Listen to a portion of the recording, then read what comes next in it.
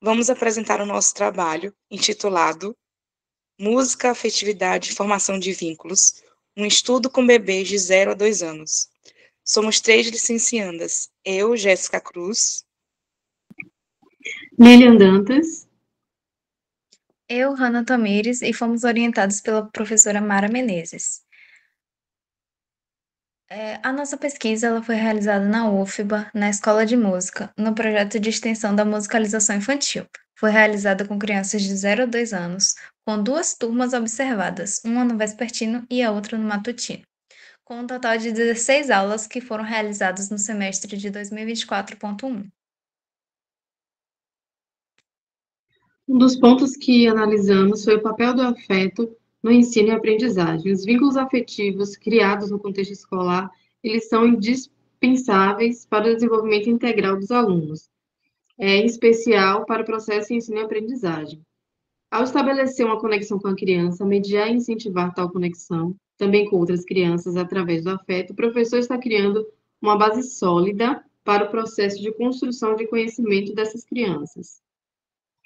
Outro ponto importante, né, e o essencial é o afeto e vínculo na musicalização. É, a musicalização é normalmente o primeiro contato que a criança tem com o ambiente escolar, onde são desenvolvidos aspectos, é, principalmente afetivos e sociais. Esses aspectos eles, eles devem ser cultivados através de brincadeiras, convívio, toque, fala e olhares.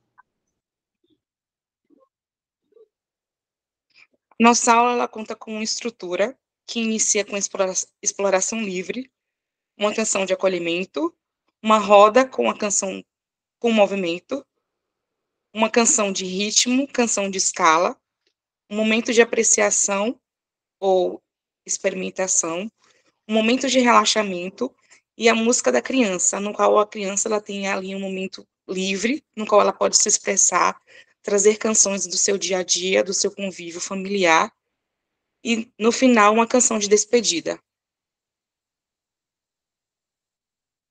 Para realizar essa pesquisa, primeiro fizemos o estudo do referencial teórico, a coleta de dados com a execução das aulas, elaboração de diários de campo, pós-gravação e gravação das aulas, além de reuniões semanais de formação para análise dos dados e reflexões.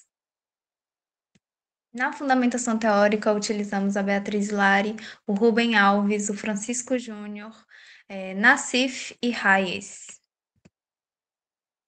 É, fizemos também a definição de, dos níveis de desenvolvimento afetivo e social. É, separamos característica como um parâmetro para a gente analisar o desenvolvimento de cada criança. Utilizamos três níveis: o nível 1, desenvolvimento acima do esperado, nível 2 é desenvolvimento esperado e nível 3 abaixo do esperado.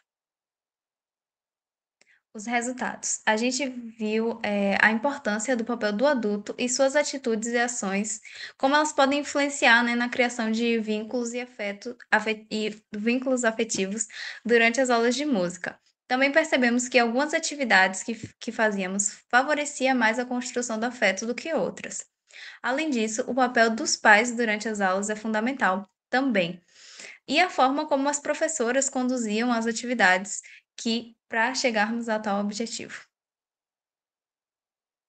Temos algumas fotos durante as aulas. E é isso. Obrigada.